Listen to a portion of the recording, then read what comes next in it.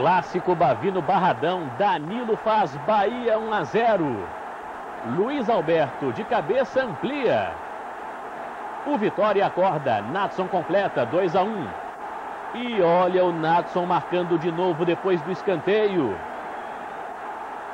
Dia de Natson, lançamento cumprido, ele faz o terceiro, 3 a 2 vitória, já classificado para a próxima fase. Que comemoração, hein?